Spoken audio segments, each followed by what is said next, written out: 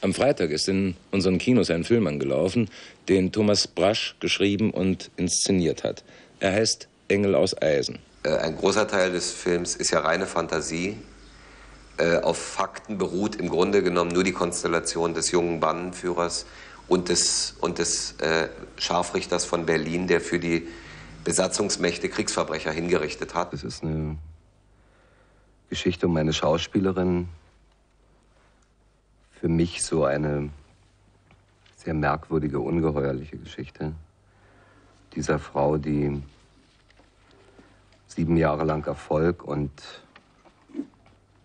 und die Erziehung ihres Kindes hinter sich hatte und ganz gesichert war, ähm, passiert zum ersten Mal, nachdem sie allein ist, das erste Mal eigentlich wirklich allein ist, das Kind ist weg passiert in dieser Woche zwischen, zwischen Weihnachten und, und Neujahr immer mehr Ungeheuerliches.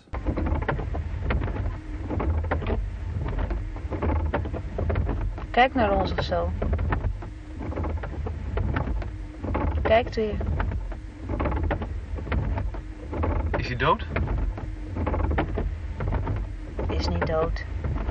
Beweegt toch?